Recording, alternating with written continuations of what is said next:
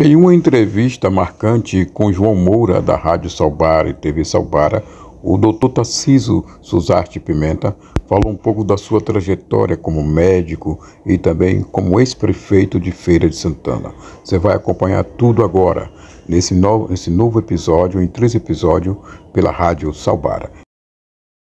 Aí, pessoal, mais uma vez, né, agradeço a, a oportunidade que estou aqui, né, vivendo esse momento pela Rádio Salbara FM 105,7 com nossos amigos Genu Salbara e F Lisboa com o doutor, né? Agora à tarde aqui, segunda-feira, 17 de, de, de, julho. Doutor, por favor, doutor, é, como o senhor se sente em relação ao reconhecimento profissional pelo trabalho realizado enquanto prefeito de Feira de Santana? O trabalho, meu trabalho profissional eu faço como médico no dia a dia. E graças a Deus, se eu não atingo 100%, atingo uma parcela próxima disso de satisfação e de retorno positivo. O trabalho político que eu empreendi como prefeito em Feira de Santana, eu reputo como de qualidade e reputo acima de tudo como voltado àqueles que mais precisavam do atendimento do sistema público. Eu fui um dos primeiros prefeitos a implantar fardamento escolar é, em Feira de Santana. Eu me lembro. Eram 50 mil alunos que receberam toda a farda. Me lembro. Do tênis à mochila. mochila. Todos os alunos recebiam fardamento escolar. Todos 50%. Né? É, 100%, desculpe, de, de alunos com fardamento escolar. Implantei o, o, o, o caminho na escola Aqueles primeiros ônibus amarelinhos em Feira de Santana foram trazidos por mim. Eu me lembro também. Eu criei e rejuvenesci a Guarda Municipal é. de Feira. A Guarda Municipal de Feira era tida como uma guarda de carcaceiros. Pessoas bêbadas, guardas bêbados que ficavam na porta da prefeitura, da Câmara Municipal, embriagados. Eu fiz concurso público para a Guarda Municipal, para professor, para todas as áreas, através da Universidade Estadual de Feira de Santana. Transformei a Secretaria da Fazenda, foi uma das primeiras cidades que teve a nota fiscal eletrônica. Feira não tinha, a nota fiscal em Feira era nota, aquela nota batida, aquela nota feita no talonário. Tá Implantamos a nota fiscal eletrônica, foi uma das primeiras cidades da Bahia. Mas isso não repercutiu para a população. A população não entende isso. Eu me conscientizei que a população não entende.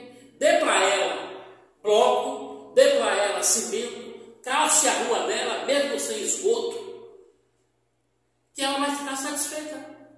É isso que a população quer. Não quer ver, seu filho, ver seu filho recebendo uma boa merenda escolar, uma merenda escolar qualificada, como nós fizemos, uma merenda escolar energética, uma merenda escolar que melhore a capacidade de aprendizado do aluno. Não quer ter, não queria ter. Não queria que você investisse mais no planejamento e no, na questão da prevenção, como nós fizemos com o pessoal da dengue, o pessoal da, é, é, da zika, o, os agentes comunitários de saúde, melhorei o salário dele, botei praticamente agente comunitário em toda a cidade. Não é? é foi isso aí, o trabalho foi esse, o trabalho de, de, de, de tentar chegar na população mais carente, tentar chegar na população mais precisada.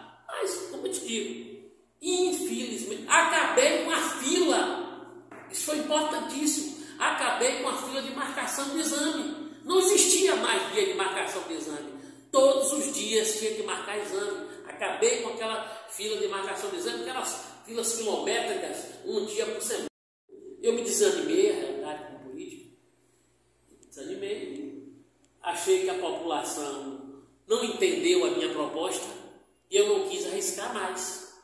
Hoje eu estou na minha profissão como médico. Voltou para ser médico. Atendendo a meus pacientes, operando e, sinceramente, não pretendo mais não voltar à política, é porque é, não é que eu tenha tomado raiva da política ou tenha rancor da população, mas eu acho que a população poderia ter entendido melhor a mensagem. Eles preferiram acreditar em pedra, calçamento, preferiram acreditar em viadutos do que acreditar no investimento do seu filho, no investimento da sua família. Então a população, ela sofre muitas vezes pela falta de é, critério nas suas soluções. Vão muito mais pelo imediatismo e pela, pela, pelo visual do que pensar no seu próprio filho, nas oportunidades que eles poderiam ter numa disputa de universidade, é, numa saúde melhor, numa educação de qualidade, mas infelizmente raciocinaram dessa forma.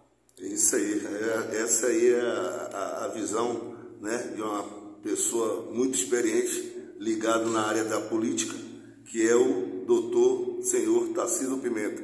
Vou para a segunda entrevista aqui, pessoal.